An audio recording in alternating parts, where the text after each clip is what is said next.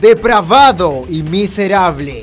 En las últimas horas, la Policía Nacional viene realizando diferentes operativos en contra de diversos delitos.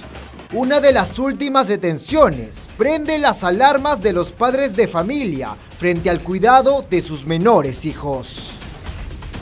En medio de las acciones policiales, efectivos del orden con la fiscalía arrestaron a una persona que presuntamente almacena y difunde contenido de menores. Cabe resaltar que previo a la captura se estaba realizando la recolección de pruebas contra este sujeto implicado en este grave delito.